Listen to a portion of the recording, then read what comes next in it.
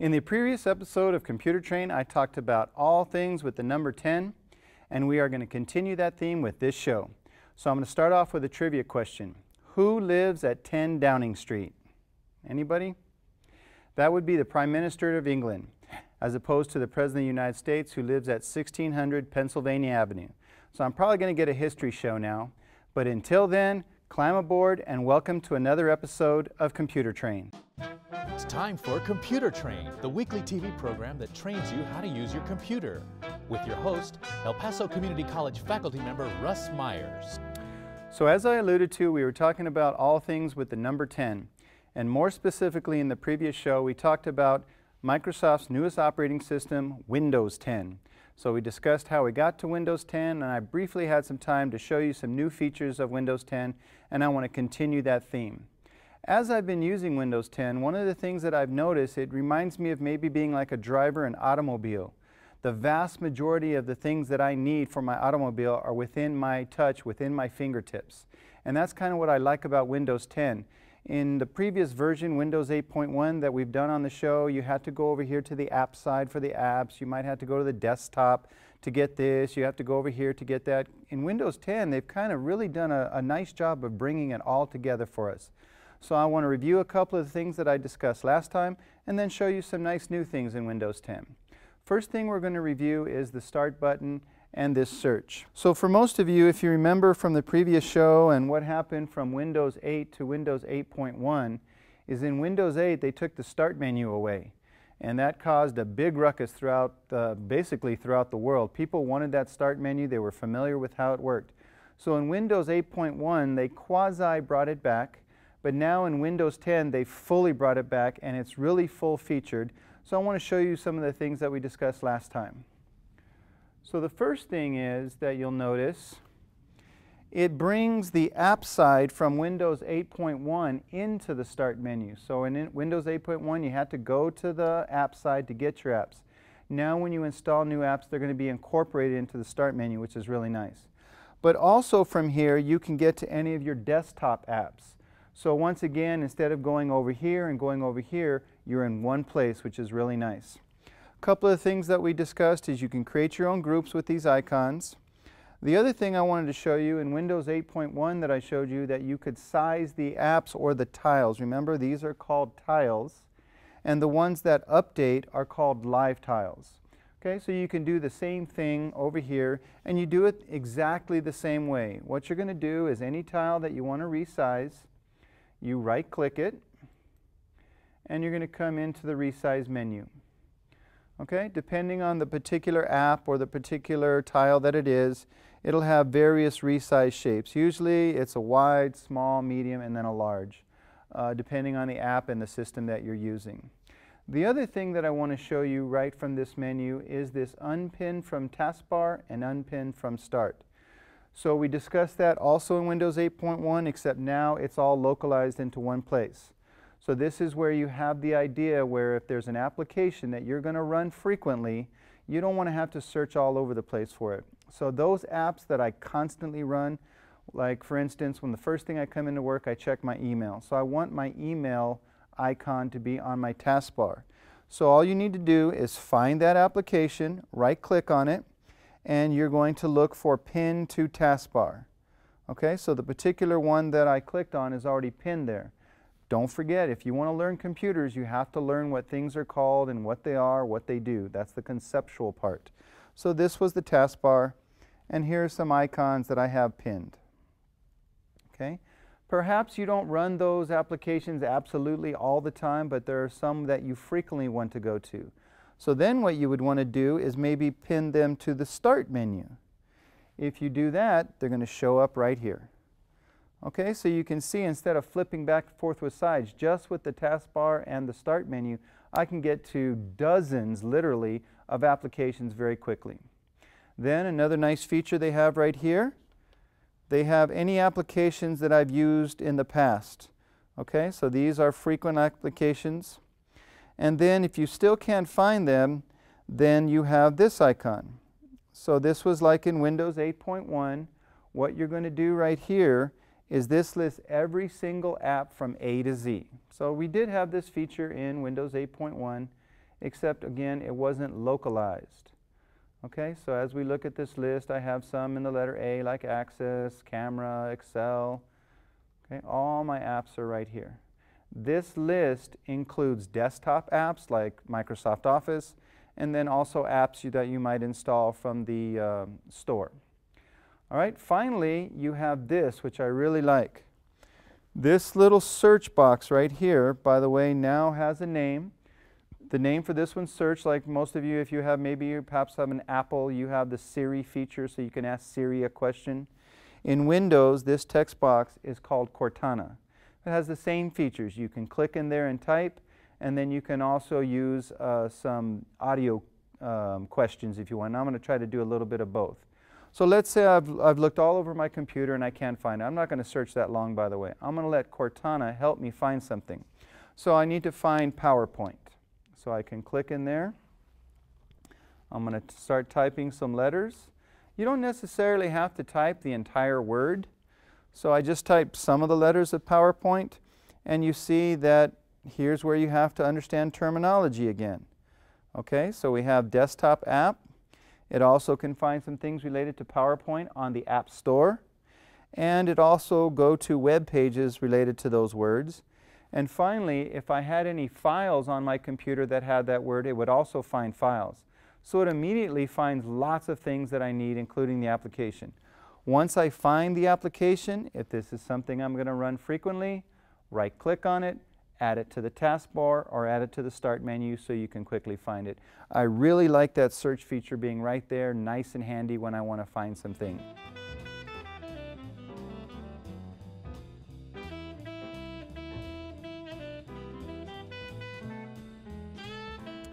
In many previous shows related to the operating system, I've shown you how to change options. And then as the operating systems we went, we did a show on uh, Windows 7, then we did a show on Windows X.1, uh, 8.1. Now I'm doing an operating system of Windows 10. In Windows 10, it's much easier for ordinary users to make setting changes. Usually that was things that most people didn't know, and you had to kind of ask somebody uh, to make those changes for you. I think in Windows 10 it's going to be a little bit easier. First of all, it's easier to find. So in your Start menu also, you have a settings button. So if you remember from a previous show, I showed you that kind of um, ratchet icon. That's related to your settings. So it's right there. We can click on it and we can make several different changes to our computer. Okay, and some of these we've used in the past. I showed you in one show how to connect Bluetooth devices, so there it is. Uh, connecting to a network or Wi-Fi, so there's the icon. You can change your system, like I, in a previous show, I changed my desktop to show, show Pittsburgh with all of those six Super Bowl trophies. So very easy to get to those. And instead of before in the past, you had to get to this item called Control Panel. And then from Control Panel, you had to know where to go. So now that's still available to you, but now the most common items that are uh, for everyday users, Wi-Fi, Bluetooth, system changes, adding a printer, those are all nice and neat in this menu. Even better than that, they now have this thing called the Action Center, which we kind of had in Windows 8.1. If you have a computer that allows touchscreen where you can do swiping, it's very easy to bring in the Action Center, and I demonstrated that on my Surface. You just swipe from the right side. Here I have a desktop without a touchscreen, so I want to make sure we know where the icon is. It's in the lower right of the taskbar, so let's take a moment to find that. Okay, down here to the bottom right. And that is going to take us to something called the Action Center. So it's pretty much the same thing. It has those settings. But in the Action Center, what it also does is in the settings button that I went to, it has them grouped under one icon. What the Action Center does that I like a little bit better is it breaks up the icons individually with most of the common items. So you see here, we have some quick icons that will do that. If you're on a laptop like a Surface or something like that, it will have additional icons related to that computer. For instance, it will have the Wi-Fi icon, it might have the Bluetooth icon. Uh, you can see here, let's see if it has it, no. In a laptop, it might have the airplane uh, icon where you have to turn the Wi-Fi off on the airplane. Uh, so it'll have additional icons, which again, what I like about it the best is it's immediately there and I can turn things without having to figure out where to go everywhere. It'll also have some notifications here about things important to keep the health of your computer. Uh, so if you have a touchscreen, you just swipe with your finger from the right side and that opens up the Action Center. If you're on a desktop environment, then you have that button that's available. Once again, really nice to get to things that the common user is going to need and we can get to it very quickly.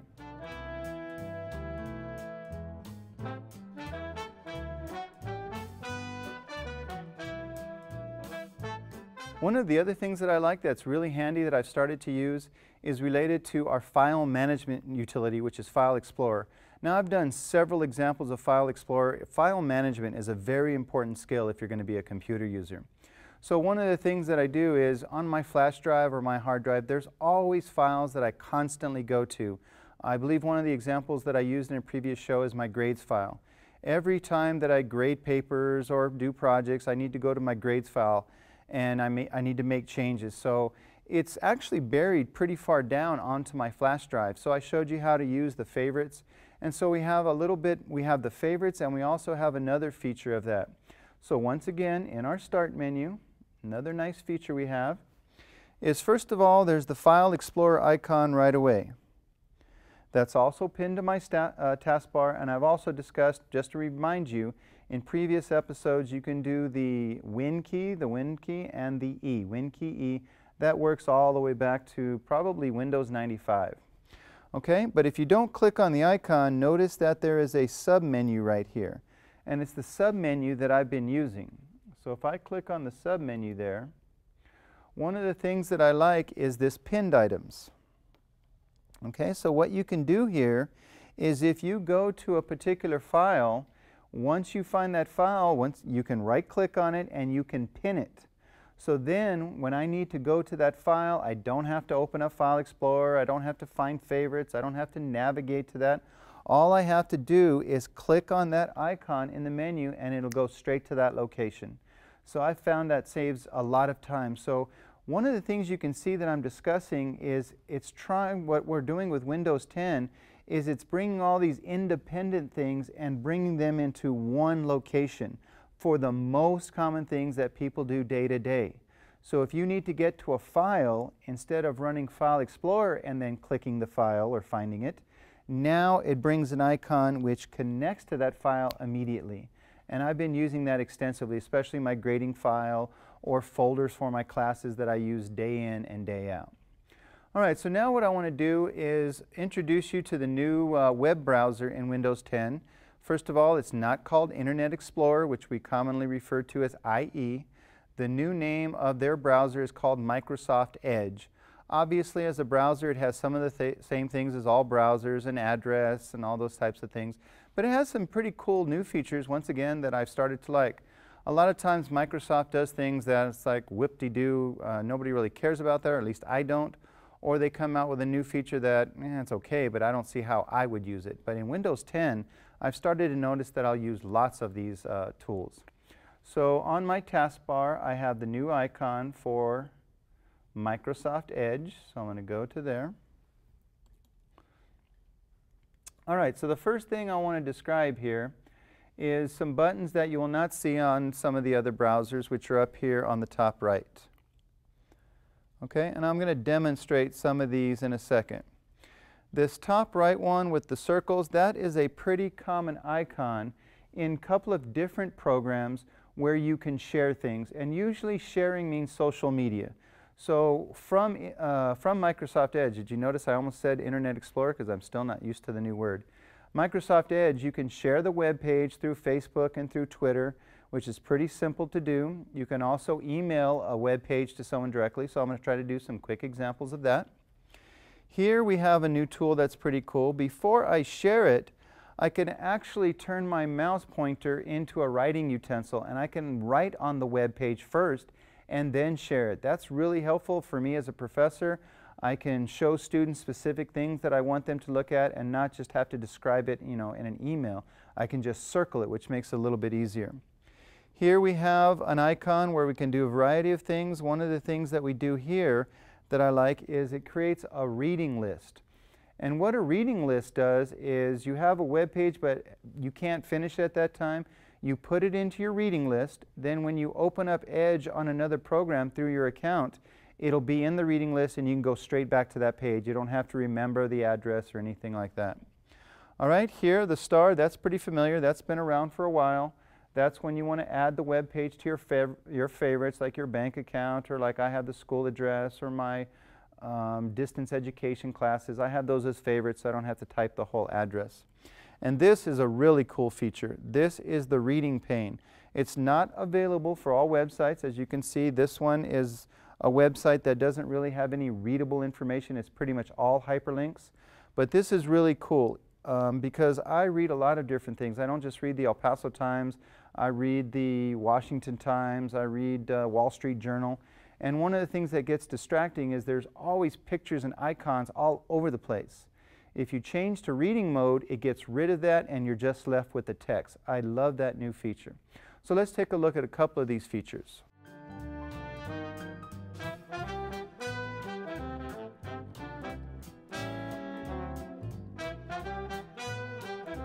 All right, so first let me show you how Cortana can help me. Instead of, for instance, I like to cook and mess around once in a while with recipes, I'm going to see if Cortana can find a recipe for me. So all I'm going to do is click in there, and this time I'm going to ask her the question verbally as opposed to typing it in. So I'm going to click. Okay, so then I'm going to click the microphone. Chili recipe. Okay, a couple of seconds later, I have a wide variety of chili recipes in this website. So here's another example that happens to me quite often, especially because I have a couple of people in my house, four different people putting dishes and measuring things away. So when I try to find something, of course I can't find it. So one of the things that often happens is in the directions for these recipes, it will tell us, you know, how much of something, a cup of this, half a cup of that, teaspoon of that and I don't have that particular measurement. So I could ask Cortana to help me with that. Let's say it asks for a tablespoon. I don't have a tablespoon, but I have a teaspoon. So I'm going to ask Cortana, how many teaspoons in a tablespoon? How many teaspoons in a tablespoon? One U.S. tablespoon is three U.S. teaspoons. Fantastic. So now I need to add three teaspoons and it'll be the equivalent of one tablespoon. So I have my surface set up right there in the kitchen. I showed you how you can do the touchscreen and it's really easy to do a lot of things and get information very quickly and also without using my hands to type it in. All right, let's do a sharing example. First of all, we'll do this. I found a website, just the positive negative effects of social media. I do some social media in my classes, let them know, yes, smartphones and iPads and all that are fantastic, but there are societal things that you need to keep track of, especially related to etiquette, in my opinion. Here's an example of that reading. So here's the article I want, but notice there's pictures, there might be icons, there might be uh, lots of things on there. So what I'm going to do is I'm going to change the screen to reading mode. So that's the icon on the top right. It's the picture of the book. There we go. And I'm going to click on that book. Okay, if you'll notice, see how it reformatted the page? And now I can just read my article without all of the other distracting where the text wraps around partly here, partly there. Now it's just nice, easy reading mode. All right, so I think my friends should know some of that. My friends quite often don't use social media correctly, in my opinion, uh, or my children, so I want to share that. So I'm going to click also on the top right on my sharing button. Okay, so first thing you need to know here is you see I have a Facebook icon. You can only use the sharing feature in social media that you have installed that app on that computer. So Twitter's available, uh, Facebook is available, a couple of the other social media apps, but they must be installed on the computer in order to show up on that menu. So I've already installed Facebook, so now it's available for me to share this web page to my Facebook account. Okay, so we click on Facebook. Going to have to log in. Oh, it's already there. All right. I'll just tell them this is a test doing a show on computer training, but a good read for some of you. And I'll mention one of my friends in the post. Okay, so then I'll post it. And so now it's just like if I had gone to Facebook and put the link there. If I log into my Facebook account, that post will be there. All of my friends can see it, and depending on the settings, some of their friends can see it. So really easy to share things. I'll do another example with mail. So one of the things that's coming up for me is finals are next week, so after that, don't look for me. I'm going to be probably on the golf course somewhere. So I found this uh, Tee Time website, and what I want to do is I want to let my wife know that at this time for the rest of the day, I'm going to be unavailable. I don't want to post that on Facebook. I want to send it directly to her. The other thing I want to show you is I want to call her attention to one of the specific times. So another icon up there on the top right. This is called Web Notes. Basically changes your mouse into a writing utensil, or if you have a touch screen, you can use your finger. Okay, on the left you see that we have some colors. You have a pen, you can have a marker, you can do a erase, you can actually create a little text box, quite a few different things. So I'm just going to do the regular pen. I don't want to go too early, that would be way too cold. So I'll probably go about the 8 o'clock tee time. So I'm going to circle that. Okay, so web notes I can write directly on the web page. Then I'm going to share it. So I'm going to click on that share icon again. And this time I'm going to use mail.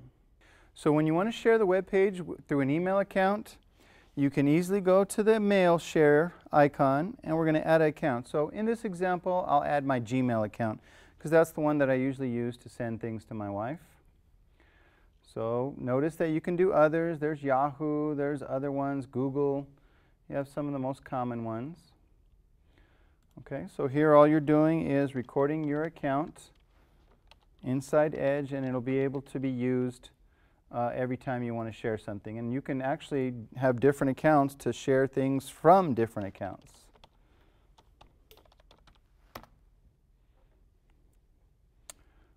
Okay, so then we'll click Allow to allow it to use my settings. And now we're set up. Okay, so now I have the web page. I use web notes to circle what I wanted my wife to particularly see. Now I'm going to share that web page with her directly. So now we just type in her address, put a little uh, message in here.